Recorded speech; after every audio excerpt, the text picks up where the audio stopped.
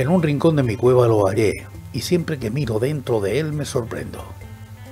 Hallo siempre cosas nuevas, noticias, rarezas. Es el baúl sin fondo de la voz silenciosa.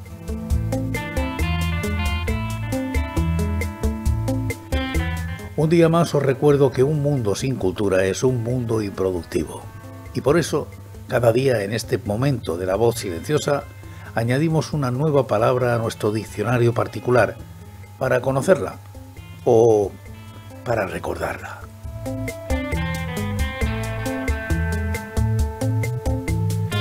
Definición de boda de la web definición.de.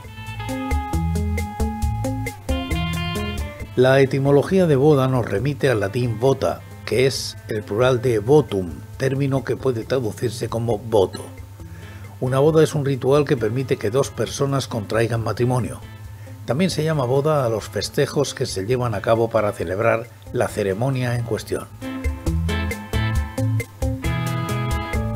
Por ejemplo, mañana es la boda de Martina y aún no sé qué voy a ponerme.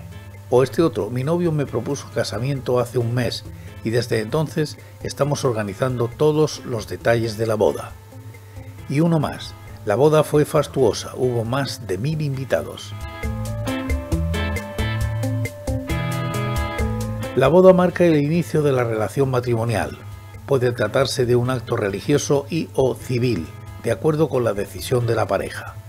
A nivel general, puede decirse que en una boda dos personas manifiestan su intención de contraer matrimonio ante una autoridad que se encarga de concretar la unión. En una boda católica, por citar un caso, contraen matrimonio un hombre y una mujer, quienes deben cumplir con ciertos pasos antes de que un sacerdote declare que el lazo queda establecido. Las bodas civiles, en cambio, se llevan a cabo ante un juez u otra autoridad estatal. En este último caso, según la legislación, pueden casarse dos hombres o dos mujeres.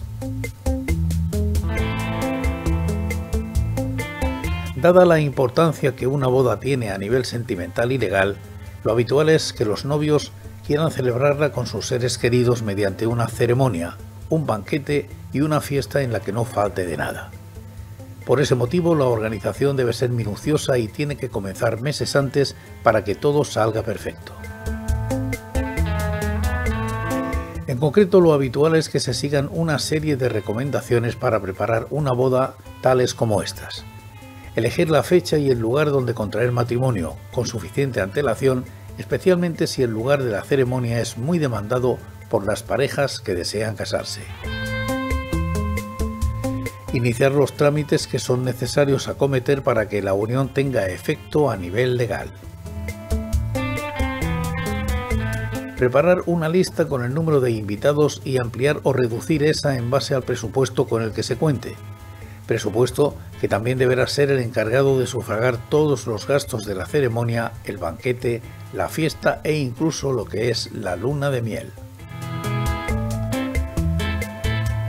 Si no se cuenta con demasiado tiempo para preparar la boda o si se siente uno muy perdido, siempre puede confiar en un profesional, un wedding planner.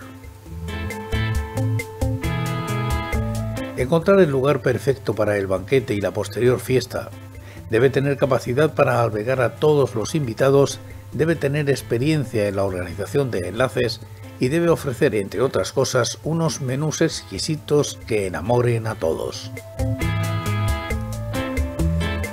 Detalles importantes de la ceremonia en sí son las alianzas, la decoración, la música que sonará. Existen diversas tradiciones vinculadas a las bodas. Es habitual que la mujer vista de blanco y que los integrantes de la pareja intercambien anillos, alianzas. Tras la ceremonia y la fiesta, los flamantes esposos pueden disfrutar la noche de bodas, la primera noche que pasan juntos como matrimonio, y luego es frecuente que salgan de luna de miel, unas breves vacaciones a modo de celebración.